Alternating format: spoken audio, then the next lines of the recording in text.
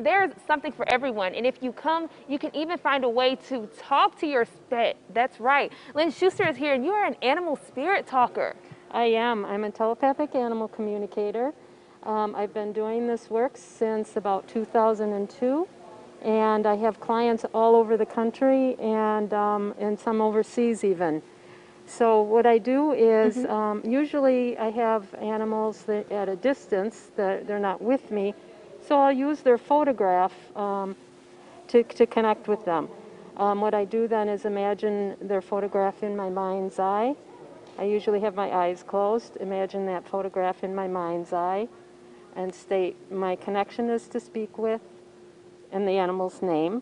When I see that animal um, moving in my mind's eye, I know I have a connection. And from there, we have a, um, a conversation very similar to what you and I are doing. Wow. So um, I talk to many animals about all different things. Um, a lot of I work with a lot of animals that have trauma. Um, sometimes they might be moving to a different house or a different state.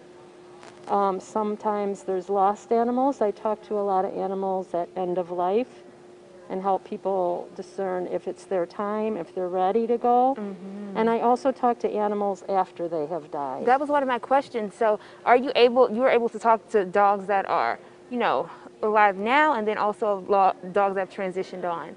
Yes, yes, I am. And the, the beautiful thing about the animals after they've transitioned is they are in a space of so much love. Mm. It, it's just, it's amazing.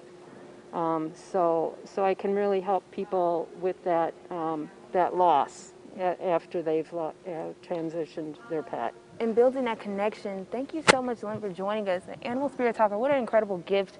I know a lot of animal lovers out there are looking for ways to connect with their animals, especially those that have been maybe rescued and gone through some things. So you can come here to the Green Bay Pet Expo at the Resch Expo Center, and you can find out more with Lynn.